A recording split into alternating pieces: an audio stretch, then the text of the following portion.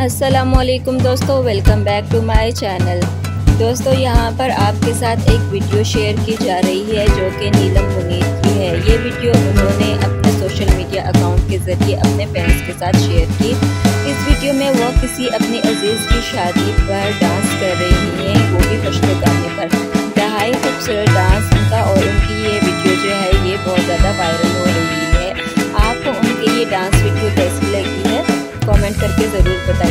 इससे पहले नीलम मुनीर की भी एक और वीडियो भी डांस की वीडियो वायरल हो चुकी है, जो वीडियो उनके फैंस की जानब से बहुत ज़्यादा पसंद की जा रही थी।